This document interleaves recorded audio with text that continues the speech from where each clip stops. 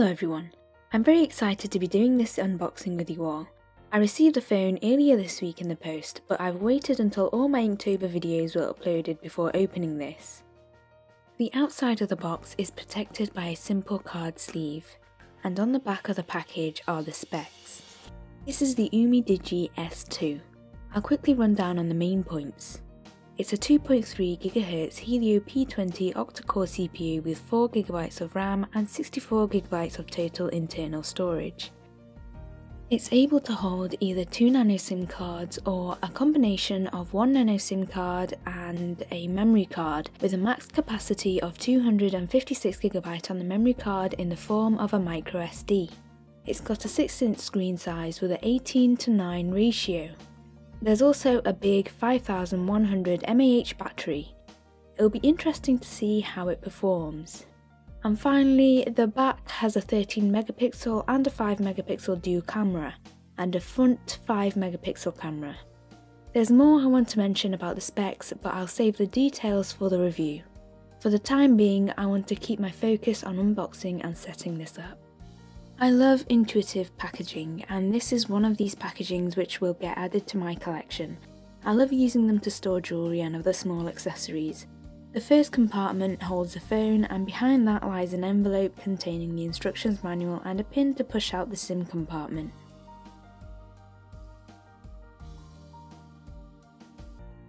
The phone itself already has the back protective case fitted. If I take this cover off, it reveals a sticker pointing to all the details of the phone. Moving on to the next compartment is the fast charger for plugging into the wall. I'm going to need to use this with an extra plug converter to use it in the UK.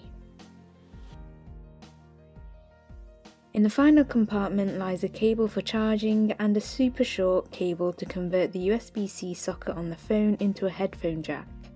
The phone comes with a plastic screen protector so I'm going to need to buy a glass protector separately. I'm going to skip through the setup. It's an Android 6 operating system which is easy to set up and pretty much all Android users ought to be familiar with. The most beautiful thing about this phone is the gorgeous colour reproduction of the screen. Obviously I haven't had a chance to play around with the phone much since I've only just unboxed it, but the vibrancy and saturation of the screen is very noticeable.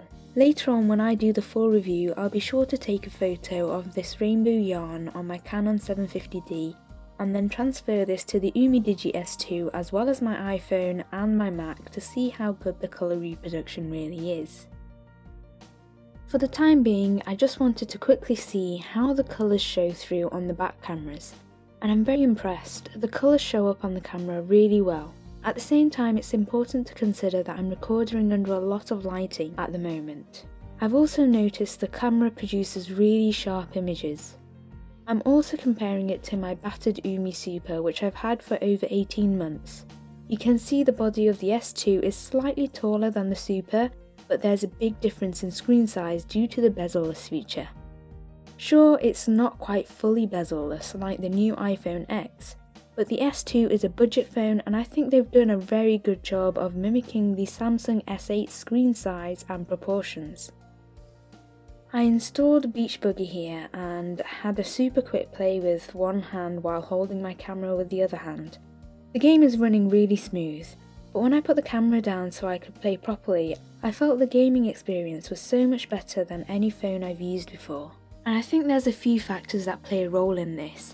The combination of a large screen, the screen ratio, the slim body of the phone which makes holding the phone comfortable while playing all make the gaming experience feel really good. The Umi Digi S2 is what I would consider a mid-range phone which normally costs around about £190 in the UK.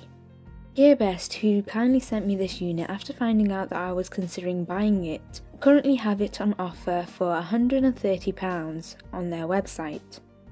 Prices do change along with offers, so I'm just quoting the prices at the time of creating this video.